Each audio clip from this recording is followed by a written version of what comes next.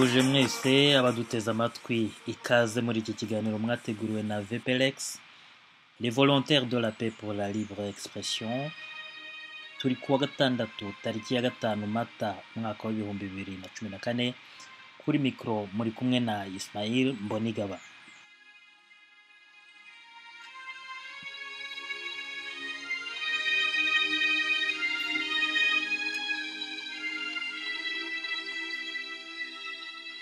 u rwanda rumaze amezi atatu mu bikorwa bitegura kwibuka ku nshuro ya makumyabiri jenoside yakorewe abatutsi. Muri ibyo bikorwa hakabamo kuzengurutsa igihugu cyose urumuri rutazima rwakongejwe ku itariki indwi mutarama. Ruzenguruka uturere twose tugize u rwanda uko ari mirongo itatu mbere y'uko rugaruka i kigali ku itariki indwi mata umwaka w'ibihumbi bibiri na cumi na kane ari nabwo icyunamo kizatangizwa ku mugaragaro na perezida wa repubulika paul kagame ubwo azaba akongeza urwo rumuri mu rwego rw'igihugu.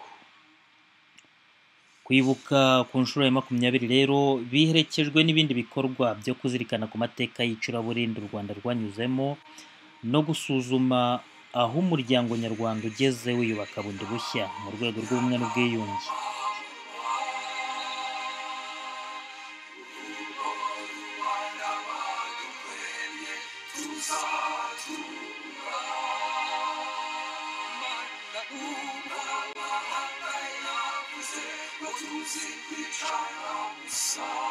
Kwibuka ku nshuro ya makumyabiri birakorwa n'abanyarwanda ndetse n'abanyamahanga by'umwihariko abafite icyo basobanura kuri aya mateka y'igihugu cyacu akomeje kurangwamo impaka.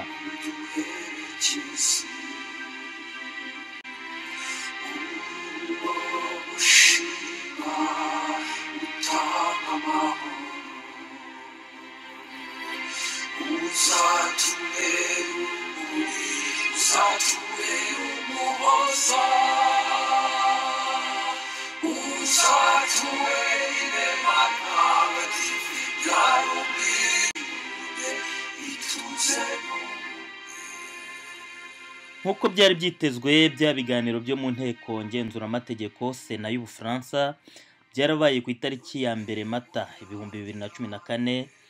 Ibyo biganiro bikaba byarajemo abantu benshi babifashemo ijambo. Ahanini akaba ari abantu basa n'abafitanye amasinde n'ubutegetsi bw'i kigali mugenzi wacu jean claude murindahabi utuye i paris yadukurikiraniye ibyavugiwe muri ibyo biganiro. Ibi biganiro by'i paris byateguwe n'ishyirahamwe demokarasi ku itariki ya mbere mata. Byatanzwe n'abantu bavuye mu bihugu binyuranye. Philippe regens umushakashatsi akaba n'umwarimu muri kaminuza ya anvers mu birigi akaba impuguke ku karere k'ibiyaga bigari. Joan swinen uhagarariye ububirigi mu rwanda hagati y'umwaka w'igihumbi kimwe magana cyenda mirongo icyenda kugeza muri mirongo icyenda na kane. Del Ponte wahoze ari umushinjacyaha mukuru mu rukiko mpuzamahanga mpanabyaha ku Rwanda TPIR Jordi Palu Loverdos wunganira imiryango y'abanya-Espanyol biciwe mu Rwanda Colonel Luc Marshal wari wungirije General Dallaire nk'umuyobozi w'ingabo za Minwari mu Rwanda General Jean Claude Lafourcade wayoboye ingabo zaje mu Rwanda mu gikorwa cyiswe Turquoise. Paul Quilles wahoze ari minisitiri mu Bufaransa akaba yaranayoboye komisiyo yakoze ubushakashatsi ku makuba yabaye mu Rwanda muri mirongo icyenda na kane. Hari kandi n'abahoze muri fpr inkotanyi ubu bakaba bari mu ishyaka ritavuga rumwe na yo ari ryo rya rnc rwanda national congress. Abo ni dr. Theogene rudasingwa dr. Gerard gahima na major jean marie micombero. Icy'ibanza batanze ibiganiro bibanzeho ni uko nta kigomba kubuza ubutabera gukurikirana abakoze jenoside y'abatutsi kimwe n'abakoze ibikorwa by'ubwicanyi ku yandi moko ayo ari yo yose haba mu rwanda ndetse no muri congo. Bongeyeho ko nk'uko ntawe ugomba gukinisha gupfobya cyangwa guhakana iyi jenoside y'abatutsi ngo ni nako bikwiye kugenda no ku bindi bikorwa by'ubwicanyi byabaye. Abatanze ibiganiro bavuga ko amaperereza menshi yakozwe na loni ndetse n'imiryango mpuzamahanga yigenga bityo isi yose ikaba izi neza uko ibintu byagenze. Bati niyo mpamvu ku munsi wa none abahakanyi n'abigiza nkana bagashinyagura abo mu gifaransa bita negationiste cyangwa revisioniste si abahakana gusa jenoside yakorewe abatutsi ahubwo ngo izi nyito zigenewe n'abashinyagura bahakana ubwicanyi ndengakamere bwakorewe abahutu n'andi moko haba mu rwanda cyangwa se muri congo. Colonel luc marshal paul quires na general lafourcade bati nta gisobanuro na kimwe gifite ishingiro cyaboneka ku guteshuka kwa loni yavanye ingabo zayo mu rwanda igasiga abantu bari mu menyo ya rubamba. Bati icyo gihe ubufaransa ni cyo gihugu cyonyine cyateye akamo gihamagarira ibindi bihugu by'ibihangange ko bafatanya bakajya mu gikorwa cy'ubutabazi.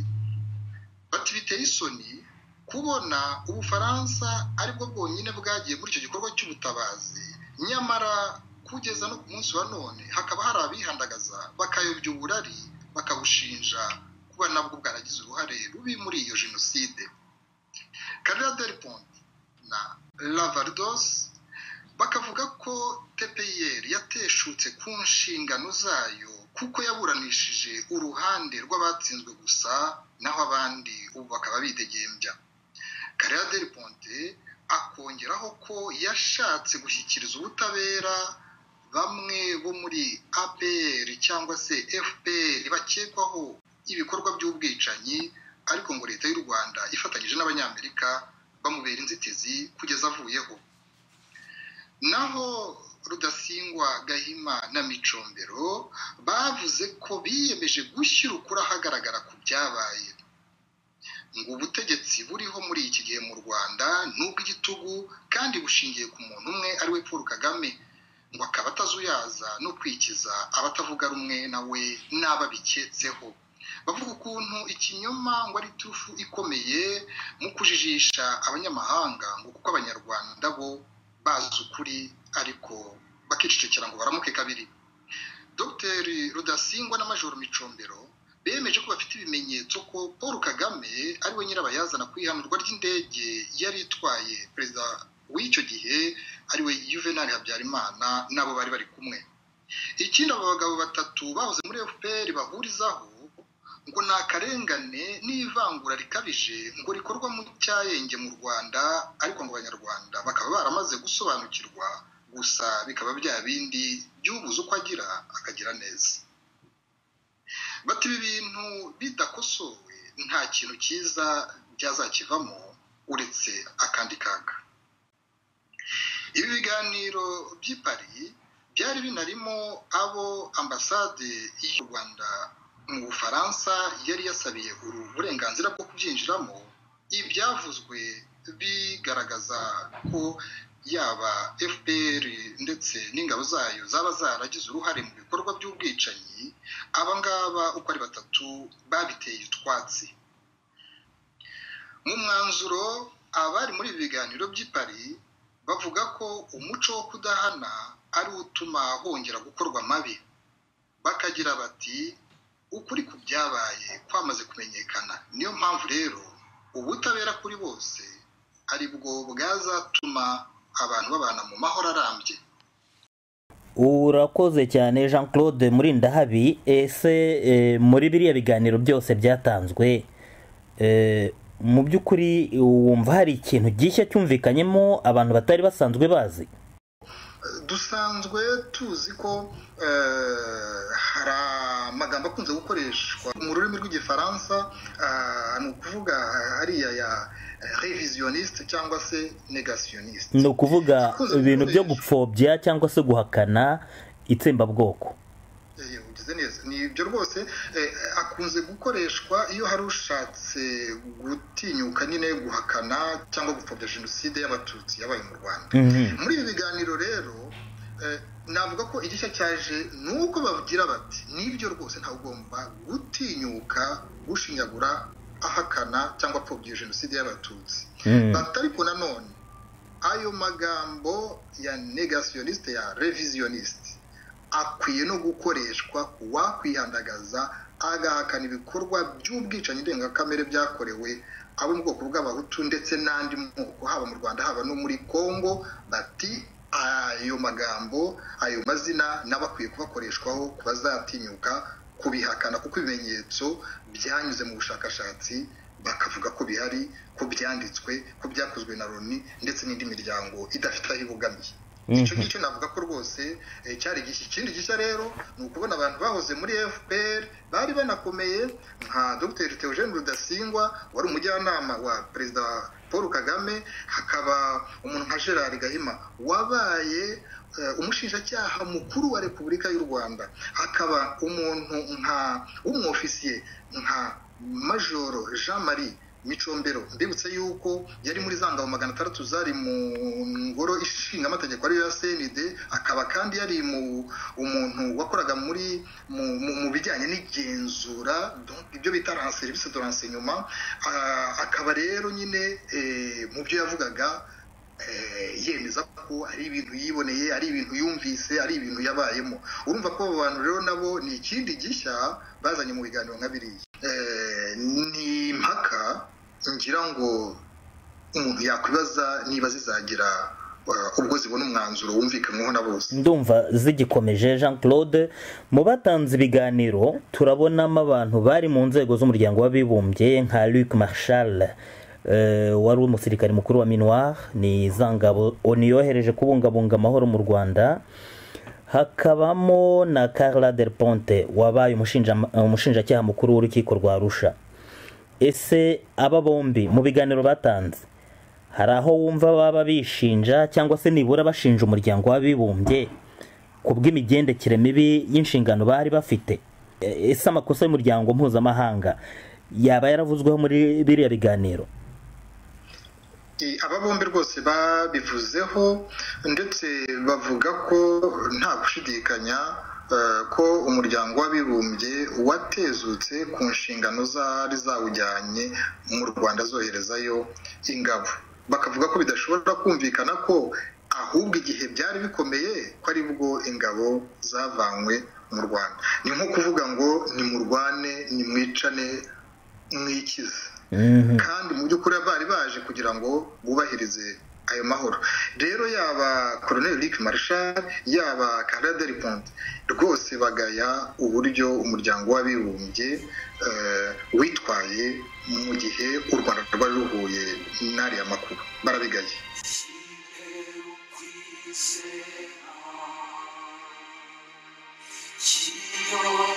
Twashegeshwe n'ibyago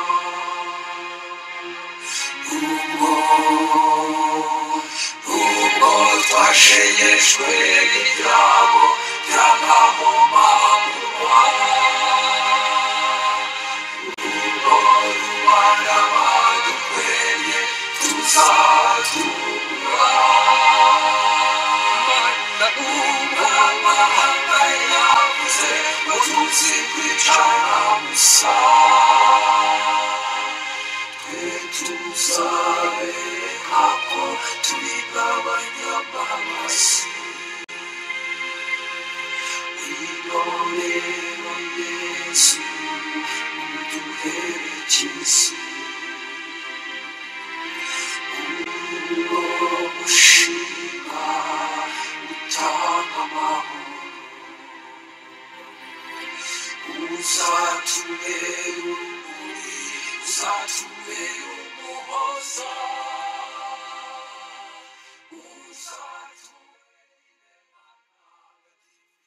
nyuma yo kumva ko inzobere mu mategeko zagereranyije gupfobya bikorwa ku cyaha cy'itsembabwoko no gupfobya ibyaha by'intambara cyangwa se ibyaha byibasira inyokomuntu vplex yegereye umunyamategeko olivier nduhungirehe kugira ngo agire icyo abivugaho. Turabibutsa ko bwana olivier nduhungirehe yungirije uhagarariye u rwanda mu muryango w'abibumbye i new york akaba akurikirana by'umwihariko imirimo y'akanama k'umuryango w'abibumbye gashinzwe amahoro ku isi conseil de sécurité des nations unies. Ni mu kiganiro gikurikira.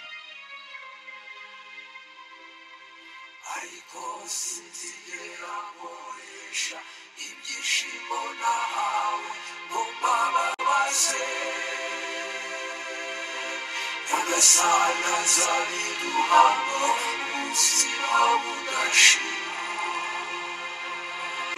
Tara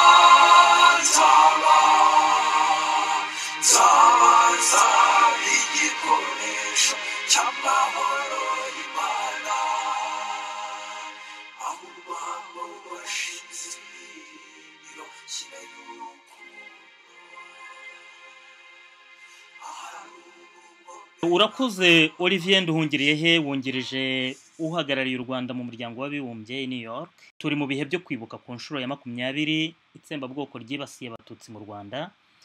Bityo ibikorwa ibiganiro inyandiko n'ibihangano byabaye byinshi. Ibyo kandi birumvikana. Kimwe n'uko kutabona ibintu kimwe birushaho kugaragara. Mu minsi ishize ubwo twaganiraga ku mpaka zigibwa ku mazina y'itsembabwoko ryibasiye abatutsi mu rwanda agenda ahinduka hari aho wagize uti abantu bagomba gutandukanya icyaha cya jenoside n'ibyaha by'intambara. Crime de guerre cyangwa ibyaha byibasira inyokomuntu crime contre l'humanité byabaye mu rwanda. Ku itariki ya mbere mata rero ejo bundi i Paris mu bufaransa habereye ibiganiro byagarutse kuri izo nyito n'uburyo abantu bagomba kujya bifata mu mvugo zabo bakumva uburemere bw'ibyo bavuga. Maze abanyamategeko barimo philip regens na yordi palu lovardos bavuga ko gupfobya itsembabwoko. No gupfobya biriya byaha bindi by'intambara cyangwa se byibasira inyokomuntu bishobora guhabwa uburemere bumwe. Ese olivier nduhungirehe uri umunyamategeko? Hari aho amategeko yaba ashyira ku munzani icyaha cyo gupfobya? Ntaho na gato eh, ahubwo yanantangaje ko ni abanyamategeko baravuze ibintu nk'ibyo ngibyo Mhm. Mu- rwanda habaye icyaha cya jenoside cyemejwe eh, n'inkiko Mm. cyemejwe n'inkiko zo mu rwanda cyemezwa na ruriya rukiko mpanabyaha mpuzamahanga rwa arusha rwemeza ko mu rwanda habaye jenoside yakorewe abatutsi Mm. abapfobya iyo jenoside ni abavuga ko nyine mu rwanda hatabaye jenoside cyangwa se hatabaye jenoside yakorewe abatutsi bakagerageza kubyita ukundi bashaka abo nibo bapfobya eh, jenoside Mhm. hanyuma ku bindi byaha ibyaha by'intambara byabaye ntawe uhakana ibyo byaha by'intambara icyo twanga ni uko abantu bafata ibyo byaha by'intambara byagiye biba Mhm. bagashaka kubivangavanga na jenoside kugira ngo babigire ikintu kimwe mu rwego rwo- gupfobya jenoside aho ngaho ni ho Mhm. hari ikibazo Mhm. rero kuvuga ngo upfobya ibyo byaha ngo uramufata kimwe nk'upfobya jenoside ntabwo bishoboka. None se ibyo byaha ubipfobya ni? Aho ngaho baravuga bati eh, kugeza ubu mu rwanda abantu bakora kwibuka bakagira imihango yo kwibuka ababo. Ati bakaba bavuga ko ibyo ngibyo bikorwa kuba eh, ku bakorewe icyaha cya jenoside ngo ariko abandi eh, nk'abaguye mu mashyamba ya kongo ni ho bakunda kwibanda cyane aho mbese ngo za raporo zagiye zigaragaza yuko hagiye haba ubwicanyi bwibasiye abantu b'abahutu ngo abo ngabo bakaba batagira igihe cyo kwibuka ababo. Ibyo ni byo akaba ari byo bavuga yuko byaba ari byo gupfobya icyo cyaha cya crime contre l'humanité. Tugomba hano na hano gutandukanya ibintu. Eh, mu rwanda nta munyarwanda n'umwe ubujijwe eh, gu- guhamba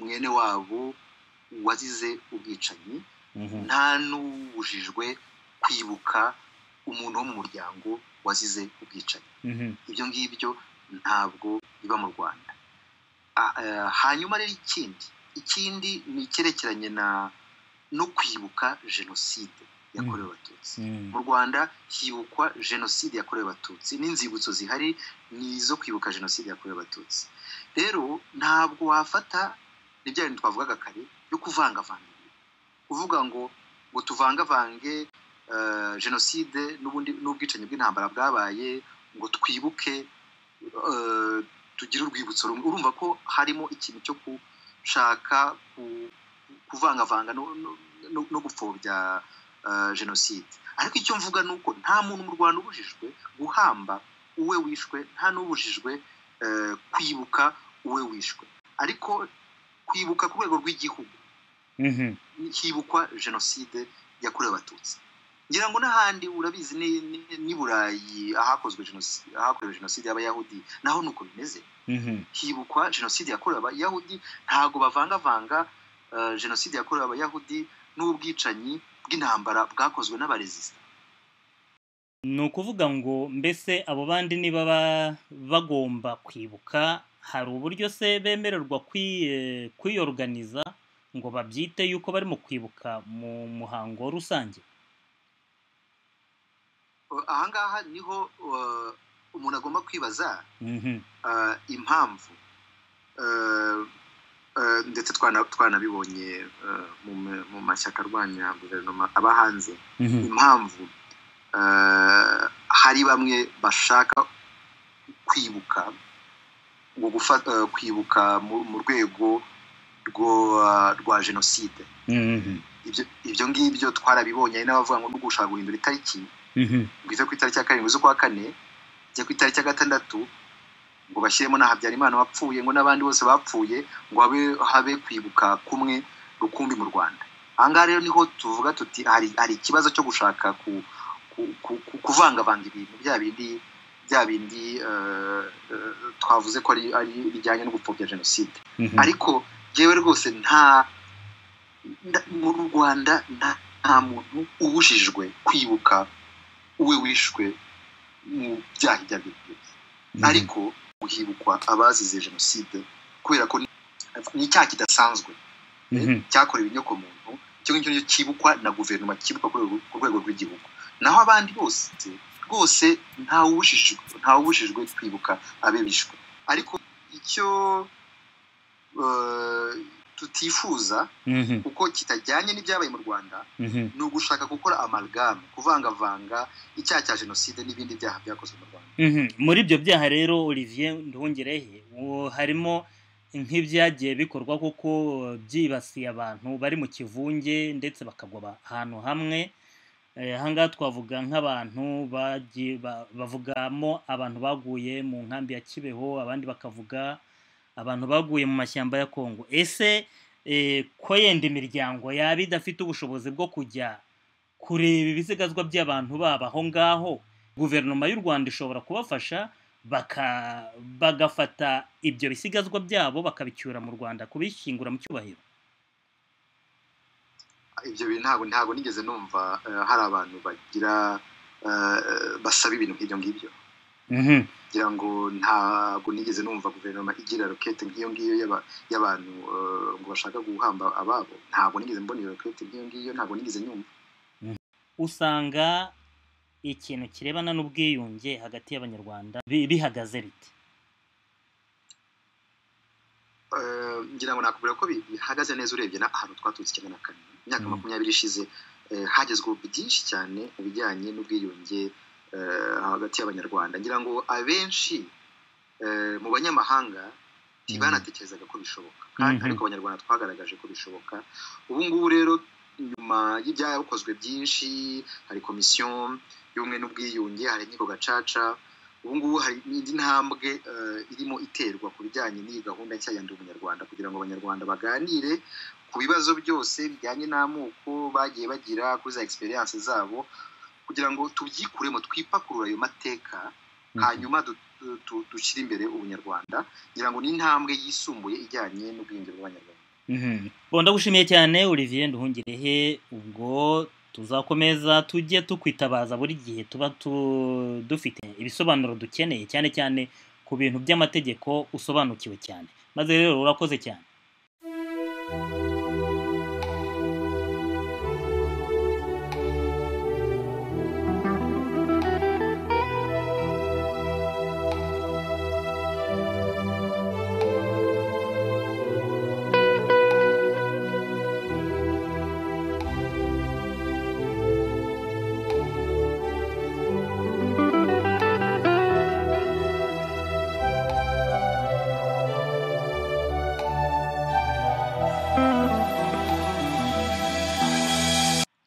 Jean claude murindahabire ka nongere nkugarukeho. E, muri biriya biganiro nanone wavuze ko harimo abanyarwanda benshi baje kubikurikira ntabwo nshaka kuvuga ababifashemo ijambo. Mu bantu bari indorerezi e, wahabonye umwuka umeze ute? Eh, Ismail urakoze kuri icyo kibazo. Eh, na- navuga ko abantu bagerageje gucisha make eh, kuko eh, ubwo hari habajijwe ikibazo eh, cyangwa se gushaka kwerekana ko eh, ibyaba ari gutanga ibiganiro harimo ibinyoma eh, ukabona yuko eh, bidashimishije igice kinini cy'abari baje cyangwa se abari bari eh, muri iyo ngoro ya- yabereyemo ibyo biganiro eh, icyaje kuba ni uko eh, hari umudamu wa- watse ijambo noneho agerageza kubwira abantu ati ibi byose turimo Mm. nta kintu byazageraho abantu batoroheranye nta kintu byazageraho abantu batagerageje eh, gucisha make. Uwo mudamu akaba yari yari umunyarwanda yari umufaransakazi. Iyi ni umunyarwandakazi witwa eh, Carvera Esperance. Mm. rwose yafashe ijambo eh, abona yuko hatangiye kuzamuka uwo mwuka w'abashaka kugira ngo bagishe impaka batangaga ibiganiro mu gihe abatangaga ibiganiro babwira bati namwe muri nka ba bandi bashaka gupfobya cyangwa kujijisha nkana ibintu bizwi neza. Uwo mudamu nyine yaravuze ati ni byo koko? Ukuri kurazwi. Ariko noneho ntabwo bikwiye gutera amakimbirane hagati y'abantu ngo usange eh, yewe n'abanyarwanda bahurira mu mahanga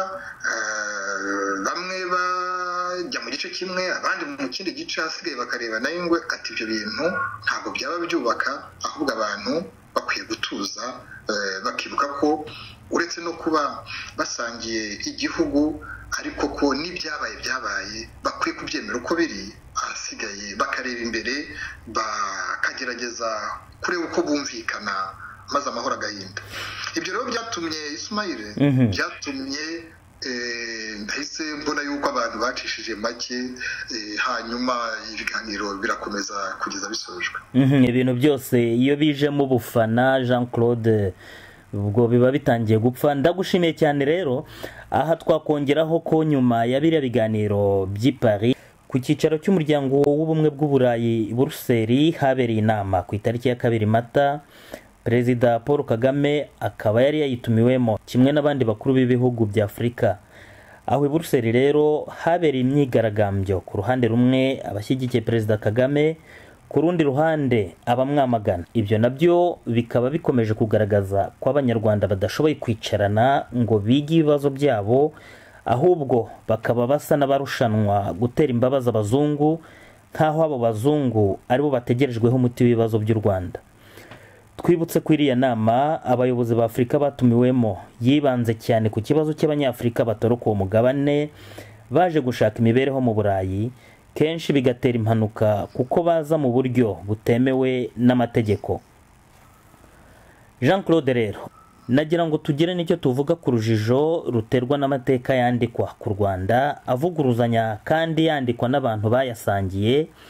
Aha ndavuga intambara zirwanirwa mu bitabo hari n'abatangaza ibitabo bwacya bakivuguruza bo ubwabo ku buryo rwose usanga urujijo ari rwinshi. Eh, nk'uko rero wabyanditseho jean claude mu minsi ishize ugira uti igihugu cyacu gikeneye kwandikwaho amateka ahuriweho na bose. Utanga n'ingero z'ibitabo byagutunguye nagira ngo nkubaze ntese amateka y'ukuri yandikwa nande akandikwa ate? Ese ninde ufite inyungu mu kugoreka amateka y'u rwanda? Eh, ura- urakoze I- Ismail. Rwose nshimangire ko eh, icyangombwa ari uko handikwa amateka avuga uko ibintu byagenze. Kuko amateka ntabwo ari ikintu umuntu ahimbahimba ntabwo ari nk'uko eh, wajya mu ruganda ugakora moteri ikora ikintu iki n'iki amateka ni ibintu byabaye ni ibintu uko byagenze. Ni ukuvuga rero ko mu by'ukuri eh, ku gihugu cy'u rwanda birababaje eh, kubona abandika uretse ko atari n'abanyarwanda gusa Mhm. yewe n'abanyamahanga ushobora gusanga eh, batavuga ibintu ku buryo bumwe bamwe ukibaza niba babikora babigambiriye bamwe ukibaza niba babikora eh, bagira ngo bajijishe cyangwa se niba babikora bibeshye Mhm. nangwa n'uwabikora yibeshye kuko noneho abonye ukuri yabikosora. Mhm, cyane cyane nda rimwe na rimwe abanyamahanga hari igihe bagira gutya bakandika ibintu baba badasobanukiwemo. Ariko iyo bibaye ku banyarwanda aho ngaho kiba kibaye ikibazo. Ni ikibazo gikomeye cyane kuko ni ukutareba kure.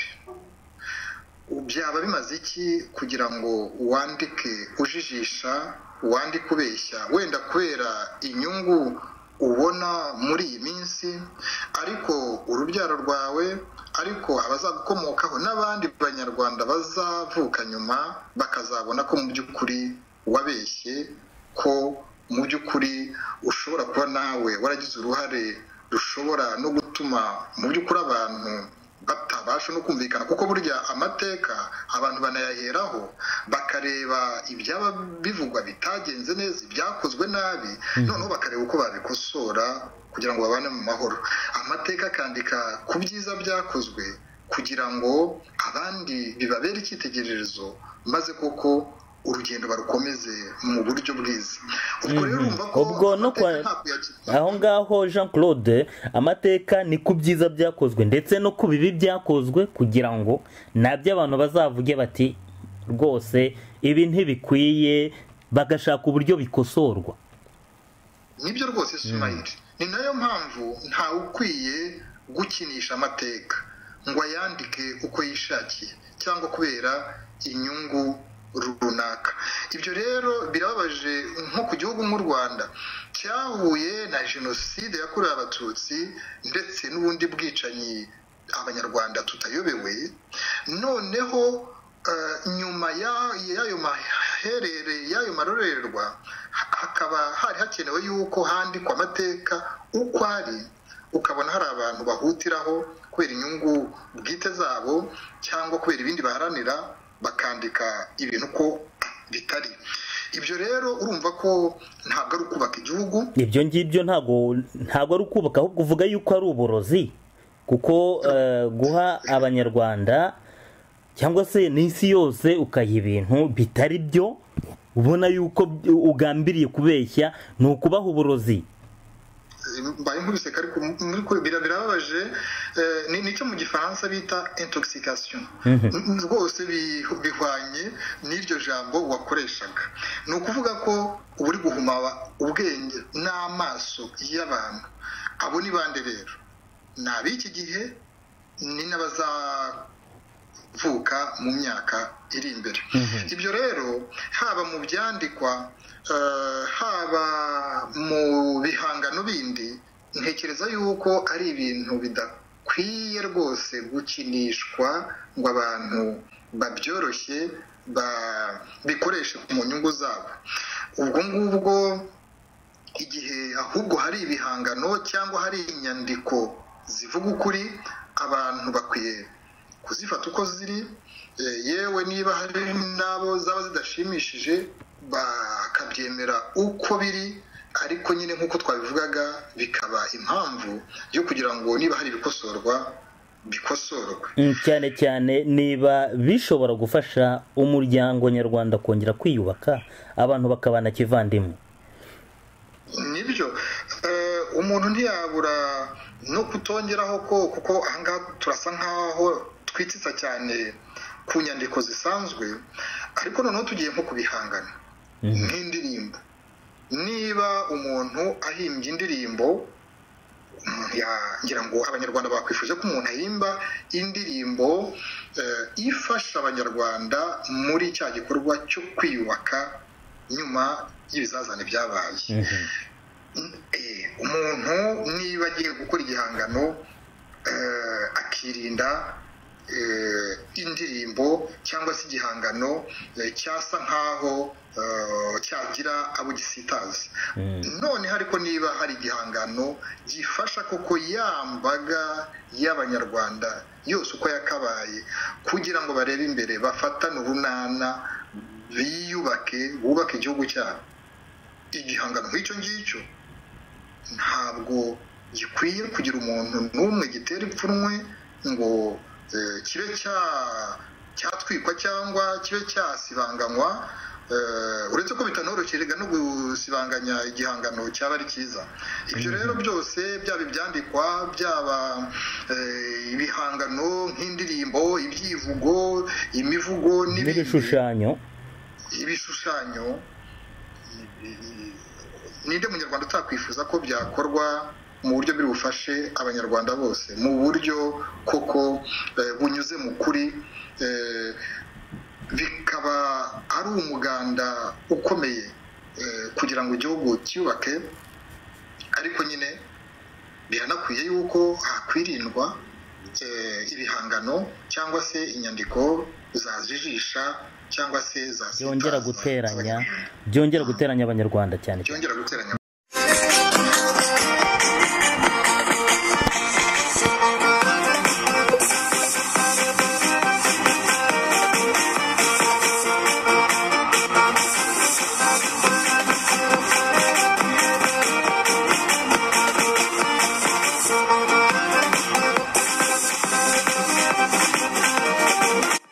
nongeye kugushimira cyane jean claude murindahabi mu kurangiza rero reka tubagezeho ijambo ry'ibanze. Mutegurirwa na vplex ishyirahamwe ry'abaharanira amahoro no kwishyira ukizana mu bitekerezo.